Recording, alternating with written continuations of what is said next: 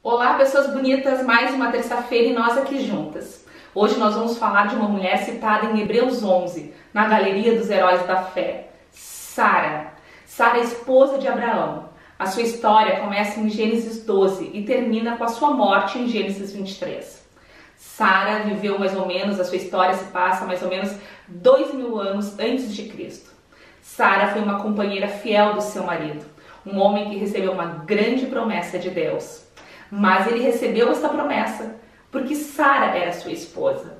A promessa alcançava Sara, tocava na vida de Sara e passava pela vida de Sara. Gênesis 12, versículos de 1 a 3. Lê comigo. Ora, disse o Senhor Abraão: Sai da tua terra, da tua parentela, da casa do teu pai, e vai para a terra que eu te mostrarei. De ti farei uma grande nação e te abençoarei e te engrandecerei o nome. Sê tu uma bênção. Abençoarei os que te abençoarem, e amaldiçoarei os que te amaldiçoarem. Em ti serão benditas todas as famílias da terra. Essa é a promessa que Deus entregou a Abraão, junto com o mandato: sai da tua terra, do meio da tua parentela. E lá foi Sara com ele enfrentar anos e anos de deserto, de vida nômade. Lembrando que eles saíram de Ur dos Caldeus na Mesopotâmia, onde ela tinha sua casa, sua família, o seu conforto, a sua estabilidade, para ter uma vida nômade, de deserto em deserto, de tenda em tenda, caminhando para um lugar que ela não conhecia, esperando numa promessa que aos seus olhos, porque era uma mulher estéril, impossível, mas ela venceu as impossibilidades e foi colocada em Hebreus 11 como uma mulher que aonde Deus a usou, onde Deus capacitou, aonde venceu as suas limitações, se levantou dos seus tombos, corrigiu seus erros, se arrependeu dos seus maus feitos e teve um coração guardado em Deus. Essa mulher, nós podemos ver umas características nelas que para nós mulheres cristãs e casadas, nós podemos saber que existem uh, sinais, estratégias e comportamentos que fazem com que a nossa vida possa ser mudada. A história de Sara nos conta que ela era uma mulher forte, corajosa, guerreira, fiel companheira. Teve os seus momentos ruins, tomou decisões erradas, aconselhou algumas vezes erroneamente seu marido, mas até o seu marido confiava nela. Porque mesmo nos momentos onde Sara errou, Abraão confiou em Sara, porque via nela aquela mulher destemida e corajosa, aquela mulher que era capaz de deixar o seu conforto, a sua estabilidade, a sua casa, a sua família, para seguir uma promessa que Deus havia entregado para o seu marido, entregue para o seu marido. Enfrentar desertos, tendas, enfrentar guerras e seguir fiel do lado do seu marido. Apesar das dores, dos medos, apesar da sua esterilidade, ela confiou na promessa que Abraão recebeu, onde Deus disse para Abraão: De ti farei uma grande nação. Se ela olhasse para ela, para a idade dela, no momento que ela recebeu a promessa, talvez ela não fosse. Mas ela olhou para Abraão e ela olhou para o Deus de Abraão e ela confiou. E ela tomou uma posição, teve uma postura de quem creu e seguiu atrás de Abraão. Eu fico imaginando Abraão compartilhando esta promessa de Deus na sua vida com Sara. Sara, Deus falou que eu serei pai de uma nação. Eu imagino neste momento Sara olhando para o seu corpo já avançado em idade, olhando para o seu marido tão amado, pensando: pai de uma nação, sendo eu uma mulher estéril. Mas Abraão deve ter compartilhado com Sara que Deus tinha dado uma ordem para ele para ele e Sara saírem do meio da sua parentela, que Deus os levaria para um lugar e faria um milagre na vida deles e através da vida deles. Sara é descrita nesses capítulos de Gênesis como uma mulher forte, corajosa, ousada, capaz de entregar a si mesmo para salvar a vida do marido. Sara tomou decisões erradas. Sara fez coisas erradas. Sara teve medo e Sara algumas vezes duvidou. Afinal de contas, foram décadas sendo levando uma vida nômade. Sara abriu mão do conforto do, dos caldeus na Mesopotâmia, da sua família, da sua parentela. Sara abriu mão do conforto, Sara abriu mão da estabilidade para seguir uma vida nômade com seu marido atrás de uma promessa para um lugar onde ela não conhecia. Na, no meio dessas caminhadas e dessa longa jornada, Houve momentos onde ela esteve muito cansada. Houveram muitas lutas, houveram muitas provas.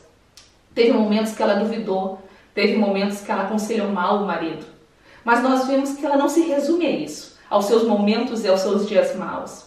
Nós vemos ela em Hebreus 11 colocada na galeria da fé. Que mulher extraordinária. Que mulher que conseguiu se tornar uma só com seu marido.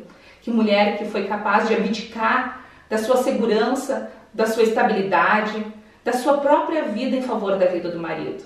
Porque por algumas vezes Abraão teve medo de morrer e para salvaguardar a sua vida preferiu entregar Sara. E Sara se entregou para salvar a vida do marido. Deus, no controle do caos, não permitiu que nada sobreviesse, sobreviesse a Sara de mal. Salvou a integridade dela, salvaguardou a vida dela e a devolveu para Abraão. Nós vimos também que Abraão e Sara, nesta longa jornada, cansados e envelhecidos, resolveram tomar uma atitude e acharam que era melhor então adotar um filho. Depois resolveram, lá no Egito, pegar uma concubina para Abraão, então decidiram que ao invés de adotar um filho, Abraão deveria ter um filho com uma concubina e que ela criaria esse filho, que esse filho seria como o filho dela. Esta mulher egípcia chamada Agar, que foi concubina de Abraão, teve um filho chamado Ismael. Ismael, o pai, o ascendente da nação árabe, dos árabes, que vivem da caça e da flecha. Já haviam se passado dez anos que Deus tinha entregue a promessa a Abraão. Dez anos de uma vida nômade, uma vida em tendas, enfrentando guerras, perigos, desertos. Dez anos esperando. Sara estava dez anos mais velha e dez anos mais cansada. Sara começou a duvidar. Sara viu que o seu marido se agradou do seu filho. Sara percebeu que a concubina egípcia Agar começou a ganhar espaço e começou a ter poder no meio do seu povo, no meio dos nômades. Pois afinal, ela era a concubina, a mãe do único filho de Abraão. Sara se encheu de ciúmes e ficou amarga e começou a perseguir Agar de uma forma tão ríspida que Agar chegou a, preferir, a, a desejar morrer. Deus interferiu mais uma vez na história e lembrou Abraão que Sara carregava uma promessa. Sara, quando viu os três enviados de Abraão na tenda de Abraão, escutou que era chegado o tempo da promessa, o tempo onde Sara daria um filho para Abraão, ela riu-se, ela duvidou. O anjo do Senhor, o anjo do Senhor, confrontou Sara. Ele disse: Do que riste? E ela disse: Não me rio.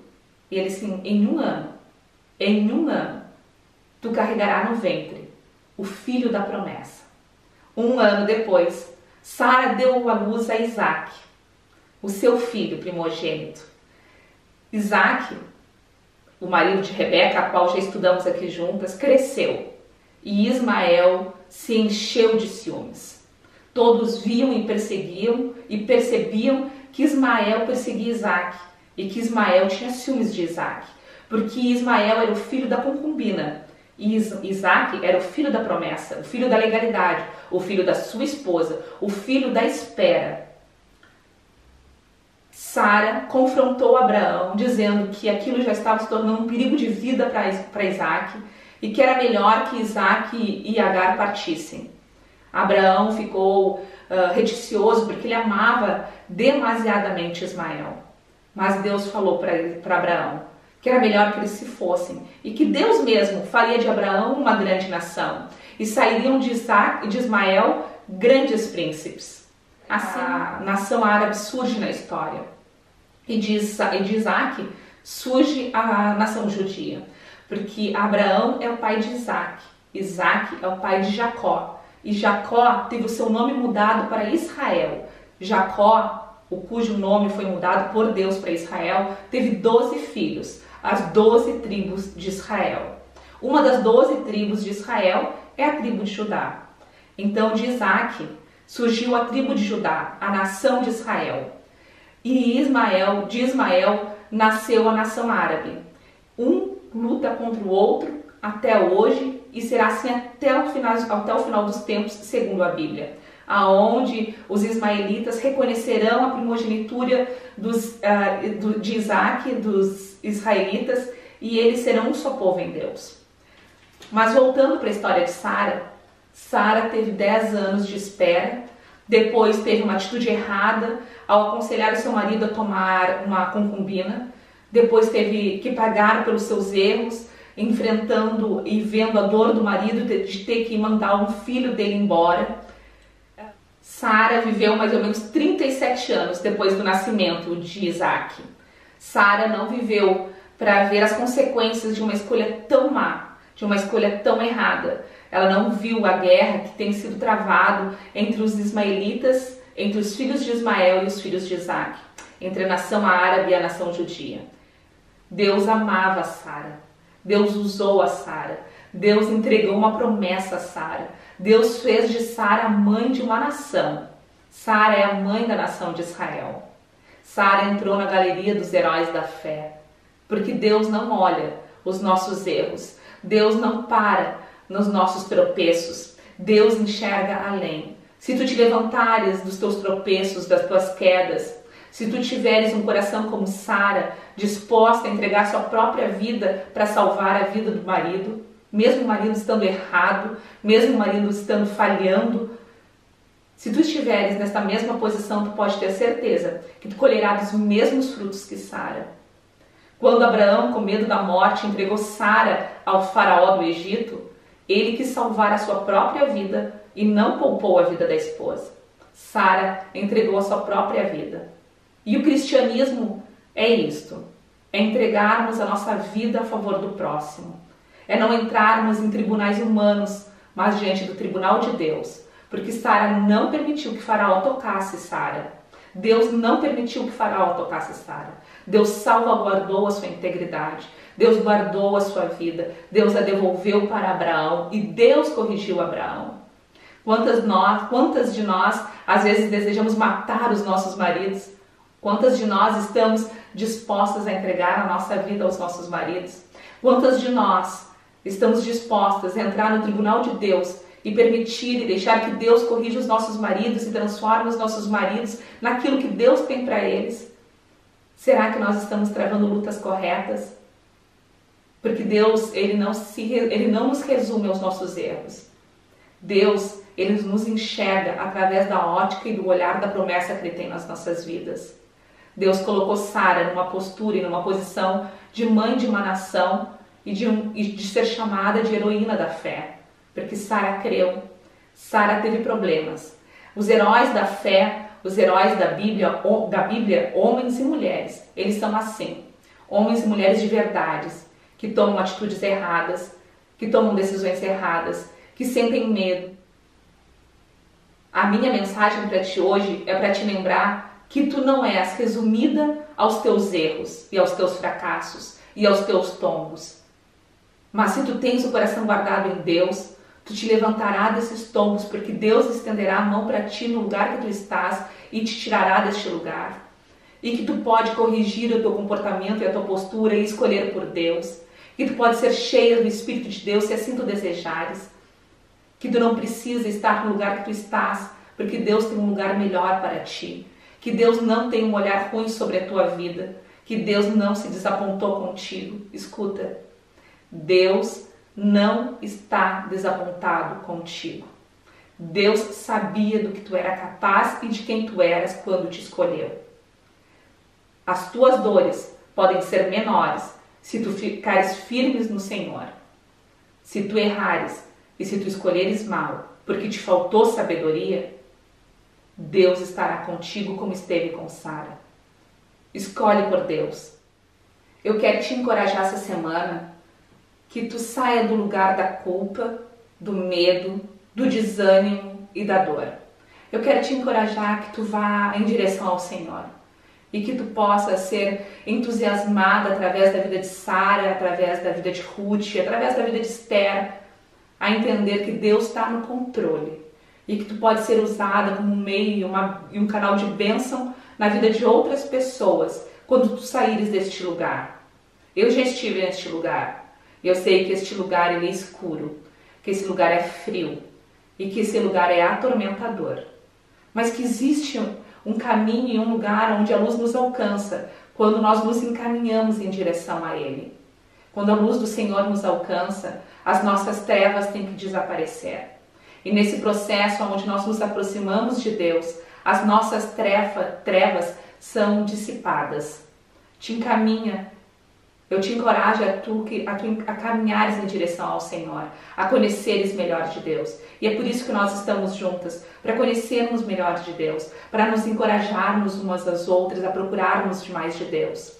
Ontem, uma amada da igreja me ligou e disse: Pastora, eu decidi que todos os dias às 10 horas eu paro de trabalhar, eu desligo tudo e eu vou ter o meu momento com Deus. E eu tenho me sentido muito melhor.